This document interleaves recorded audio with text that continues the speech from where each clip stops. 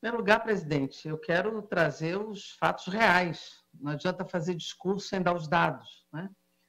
Nós somos, senhor presidente, 3% da população mundial e 14% dos casos de Covid no mundo. Nós não temos coordenação nacional de combate à pandemia. Muito ao contrário, nós temos uma descoordenação nacional. Nós estamos chegando a 3 milhões de contaminados. Repito, com a subnotificação podemos ser 18 milhões e estamos chegando a 100 mil óbitos. Também, pela subnotificação, podemos ser bem mais do que isso. Isso significa que nós estamos numa situação gravíssima. E se nós somamos a isso os dados econômicos, nós podemos ver que, segundo o Instituto Oxfam, 42 super ricos do Brasil, bilionários do Brasil, aumentaram sua fortuna em 34 bilhões de dólares. E nós, em compensação, temos que 40% dos brasileiros perderam totalmente a sua renda durante a pandemia. Só em maio, 10 milhões de brasileiros. E podemos dobrar o desemprego até o final da pandemia. Isso significa que nós não temos nem a defesa da vida, nem a defesa da renda do emprego no Brasil. Isso significa não ter governo não ter governo, um governo que despreza a vida, despreza a proteção da renda, do emprego e o desenvolvimento desse país.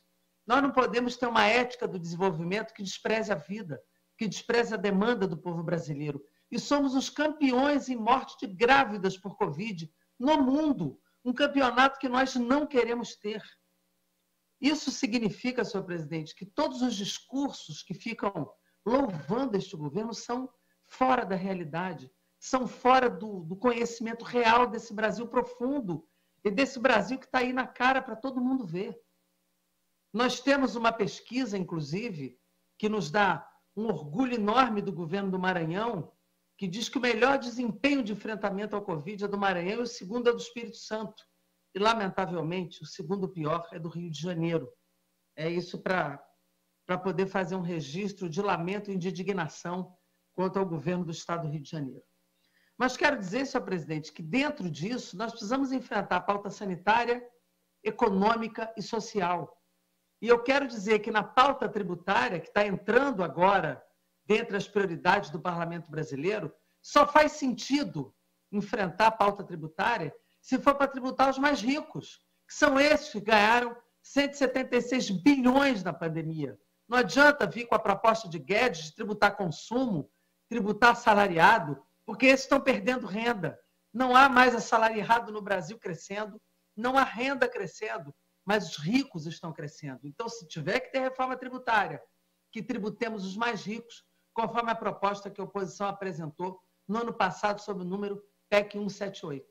E por último, senhor presidente, quero aqui expressar a minha indignação, a minha repulsa ao veto do senhor presidente da República para o projeto que esta casa aprovou quase que por unanimidade, que protege as famílias do, dos profissionais de saúde vitimados pela Covid e que ele vetou integralmente, botou uma série de vetos sobre esse projeto que desprotege as famílias ou os profissionais que ficaram incapazes vítimas da Covid. Essa é mais uma insensibilidade. Não adianta aplaudir os profissionais se não os protege, não protege suas famílias. Precisamos fazer sessão de veto para derrubar os diversos vetos que este presidente insensivelmente e de forma genocida tem tratado a pandemia no Brasil. Obrigada, presidente. Obrigado, deputado.